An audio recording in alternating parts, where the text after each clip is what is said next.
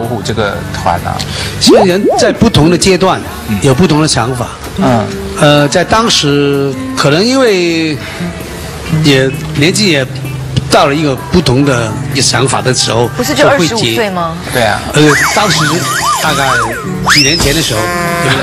五位上一次一同合体还是在2019到2020年湖南卫视的跨年演唱会上。温拿五虎的关系有多好？一月二十一日，在央视春晚首次大连排当晚，张杰在社交平台上分享了一条动态，表示自己和温拿乐队在北京的家中小聚，并在结尾发出感慨，希望自己到了八十岁也能有这样一群音乐伙伴，言辞间流露出些许羡慕之意。确实，年少时那些志趣相投的朋友，到了古稀之年依旧能一同登台演出，已是人生最大的幸事。更何况在这期间，他们不仅仅是音乐上的伙伴，更是生活中相互扶持的朋友。在钟镇涛因为投资失败、前妻张小慧的高消费等原因，负债二点五亿港元陷入人生低谷时，虽然大家都有心帮助，但他拒绝了大家的好意，所以兄弟们只能通过请他吃饭这样的方式来缓解逼哥生活上的压力。尤其是校长谭咏麟，校长，你也居功不小啊。他认为你平常是很少请人客的，但是呢，也请了他不少次了。对，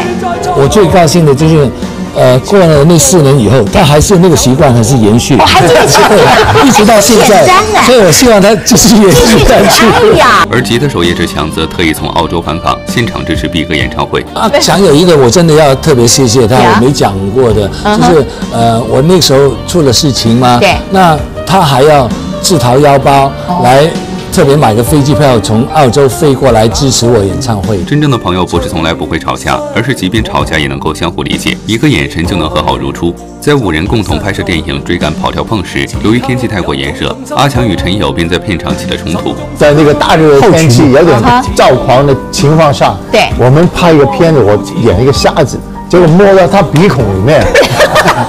你故意的吧？你故突然就意的。控制不了那个情绪了，对然后就干嘛了？打了这样，结果阿打了一拳强阿强就打了你打了肚子一拳呐，对啊，不过这却并没有影响两人的感情，反而让他们成为了互怼好友。有的那种是精算，啊，精算。如果我早一点，他儿子早一点成熟了，帮到我了，那不不会 搞错。就可以帮你一个大忙，真的你啊看。你是被